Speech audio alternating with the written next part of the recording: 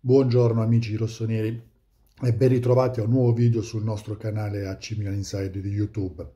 Eh, andremo a parlare del giorno dopo di questo Milan-Napoli, quindi il day after. Prima di partire con il video vi ricordo di seguire il nostro canale YouTube AC Milan Inside e mettere like a questo video. Poi dopo vi ricorderò a fine alla fine tutti i nostri canali social. Allora, il day after è sempre più bello. La vittoria di ieri probabilmente il tifoso rossonero non ha ancora capito l'importanza dei tre punti che eh, la squadra di Pioli ieri ha conquistato. Non tanto, qua non si parla di corsa scudetto, l'Inter lo sappiamo tutti quanti, è nettamente più forte delle 19 squadre restanti del campionato di Serie A se i nerazzurri giocano da Inter vincono contro chiunque. Quindi qui non si sta parlando di corsa scudetto, però il Milan da gennaio, quindi l'ultima partita, diciamo dopo Salerno, il Milan ha cominciato a correre alla pari di Inter e anche Juventus.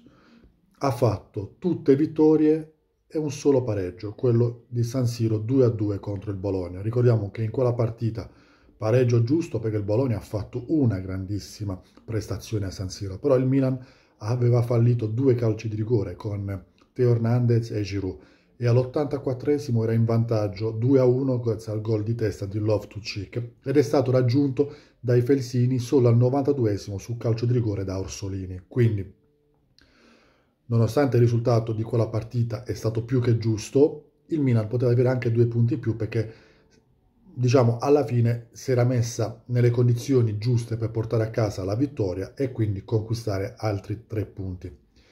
Tornando a ieri sera, la prestazione non è stata eccellente, ma questo eh, fa parte del Milan del, di questa stagione qua.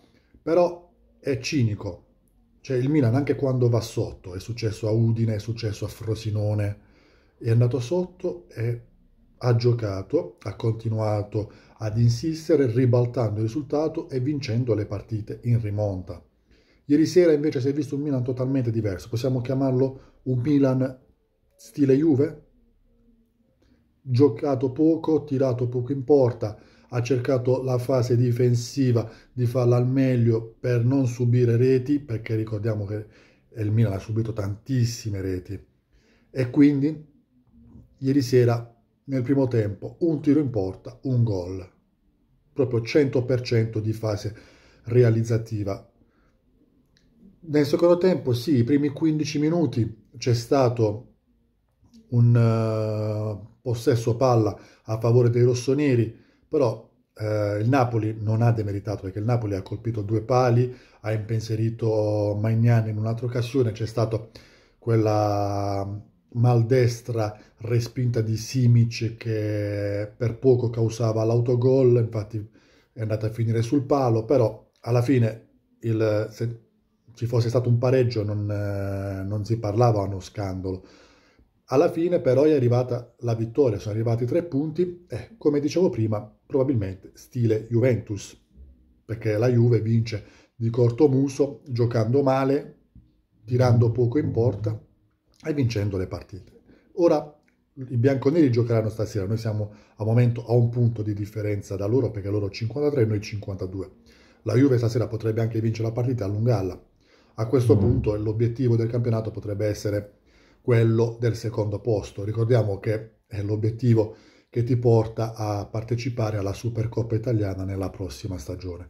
Per il resto, se vogliamo parlare di piazzamenti tra le prime quattro, il Milan, anche con la vittoria di ieri sera, ha ancora di più blindato l'accesso alla prossima Champions League, perché il distacco tra la, noi e la quinta in classifica è tanto. Ricordiamo che anche il coefficiente UEFA potrebbe fare la sua in questa stagione, perché se le squadre italiane continuano ad andare avanti in Europa e quindi conquistare punti, il prossimo anno, oltre alle quattro di diritto, potremo portare anche la quinta nella massima competizione europea. Quindi si parlerebbe di un distacco tra noi e la sesta, però al momento guardiamo la quinta e poi tutti i calcoli verranno fatti a fine stagione.